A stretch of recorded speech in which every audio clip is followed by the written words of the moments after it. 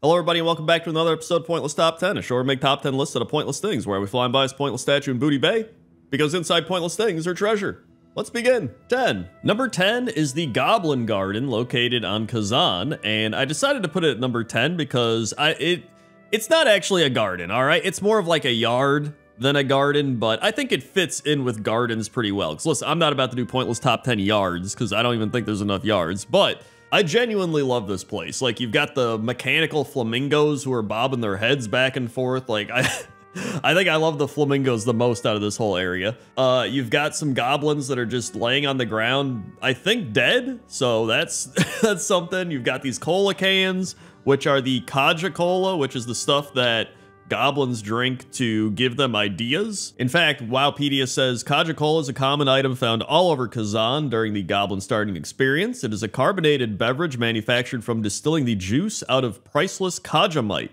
It was produced by the Kajaro Trading Company, and using the item has the player yell out a random idea and it will increase your intellect by two for 10 minutes. So it's quite possible that some goblin drank one of these colas and was like, we need to make some goblin grass or something, and then made the flamingos. Like, that's probably what happened. But either way, that's why the Goblin Garden is number 10. 9. Number 9 is the Beer Garden in Dalaran, and this is an alliance-only area where they can sit down and drink beer. It's it, that's literally it. it's just a big garden. It's got some picnic tables set up. Uh, it's got a bunch of kegs all around, and you can just sit here, chill out, and drink uh, which is fantastic. I mean, this is, it's kind of like the World of Warcraft Oktoberfest area. Uh, I actually haven't even gone here during Brewfest. You know how they, they always have Brewfest stuff going on. I don't think I've ever been to this area during Brewfest. Like maybe there's something special going on here. I actually don't know. Uh, if there's not, there should be, because this is an entire area focused around like Oktoberfest. So uh, either way, it's a really cool area. You got all the trees, you got the tables, like I mentioned, you got Hearthstone boards and cheese and all that stuff. You can even see some of the things you can buy right here. You got smoked elderhorn, you've got scallion kimchi, you got honey glazed ham, barley bread, some ales. Like, they got a whole bunch of stuff. And that's why the Dalaran Beer Garden is number nine. Eight. Number 8 is the Royal Garden, and it is located in Stormwind right before you go to the throne room, and it's got quite the history behind it. So back in Classic WoW, there's a whole bunch of spying going on with the Defias Brotherhood and some other stuff that was crazy. Then in Cataclysm, uh, Cenarion emissary Jademoon opened a portal in the garden to the Moonglade, which you can see right there. Then during Legion, the garden got overrun by fel magic and a bunch of demons. And then since then, there's been a bunch of meetings and other stuff that have happened here. But this garden has had a lot of things over the years occur in it. And it's also just a quaint little garden. There's like mushrooms and trees and bushes and animals walking around. And it's just a nice little place. So that's why the Stormwind Keep Garden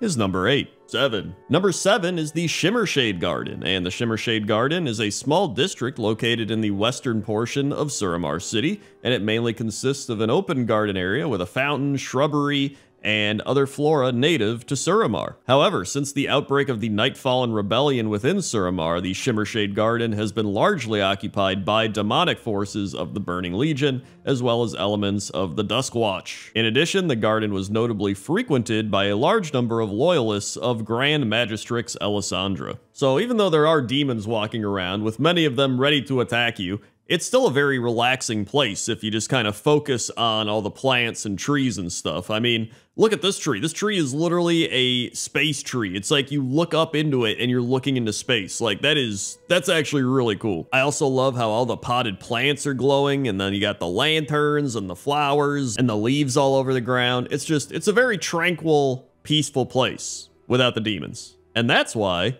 it's number seven. Six. Number six are the Capital Gardens, located in Dire Maul West. And unlike the other gardens on this list, this is a bit more of a depressing garden area because these gardens used to be very lively and pristine and vibrant, and now they are gray and withered and depressed and overrun with treants and other stuff, but it's still pretty cool to, you know, look and see how it would have looked. And I still think they look pretty cool now, even though there's a lot of, you know, broken pottery around and just sad trees and everything like that. But there are some really cool statues here.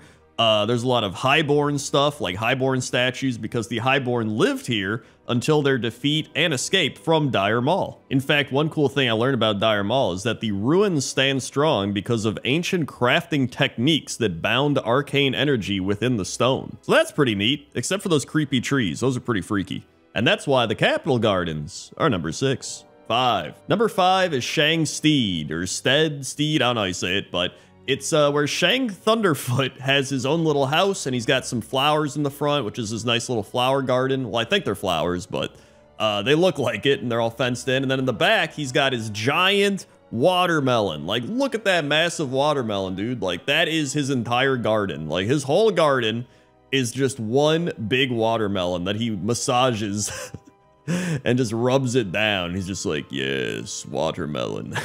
You are mine, and I have grown you to be a very big watermelon, yes. That's actually word for word what he says. I'm not even making that up. That's just, he doesn't actually say it in the game, but I heard him, trust me. Uh, yeah, he's just growing a big ass watermelon in his backyard. So I was like, how could I not include this on the list, right? Like he does have flowers, so that's kind of like a little garden, but then just the watermelon, just it it really caps it off. So that's why Shang Steed, Stead Steed, is number five. Four. Number four is the Ravenholt Manor Garden, and this one's pretty cool. It's kind of hidden away up in the Alterac Mountains or Hillsbrad Foothills, like in that area.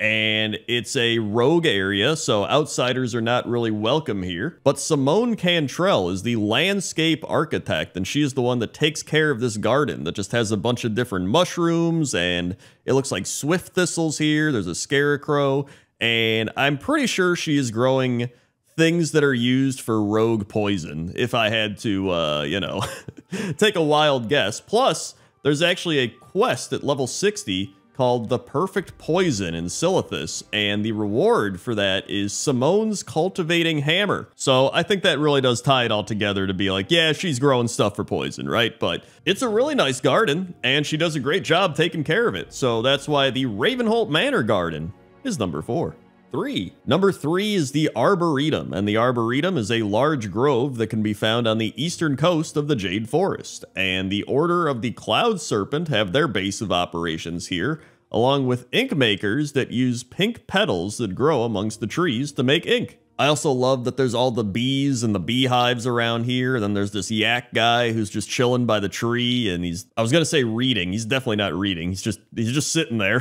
and I actually didn't know what an arboretum meant. I'd heard of an arboretum before, but I was like, what exactly is it? And an arboretum is a botanical garden devoted to trees. So it's just a big tree garden. And I really just love this place. This is another place where I would go here as just like a cozy spot to hang out, to chill like that yak guy.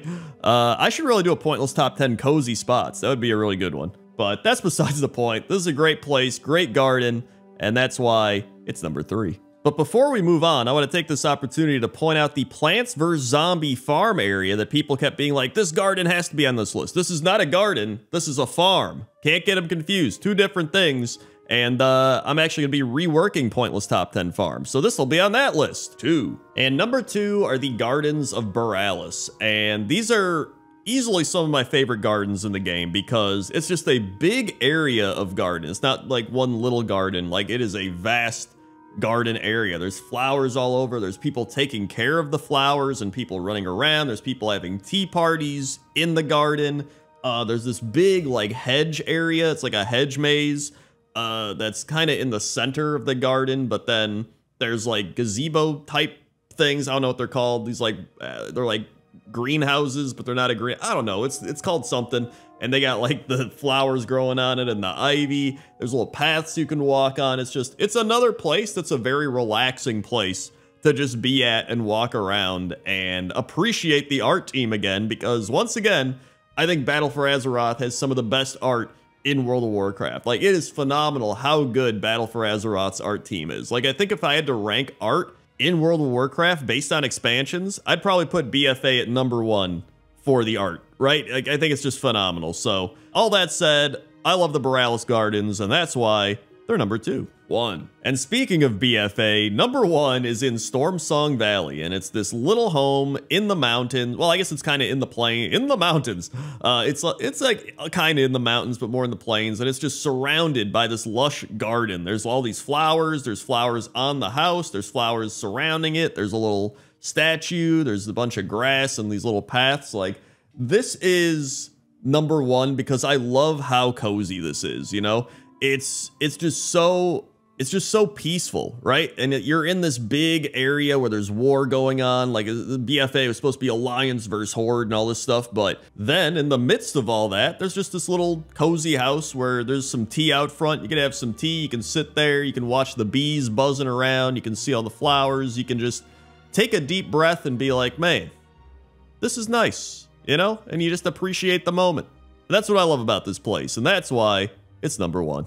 Hey everybody, thanks for watching this episode of Pointless Top 10. Make sure to like, comment, subscribe. Also, if you want some more Pointless Top 10s that are pretty relaxing like gardens, you can go watch Pointless Top 10 Windmills, or you could go watch Pointless Top 10 Lily Pads, both pretty relaxing. Also, consider supporting the channel over on patreon.com slash Crendor, or by becoming a channel member. Okay? Okay. See ya.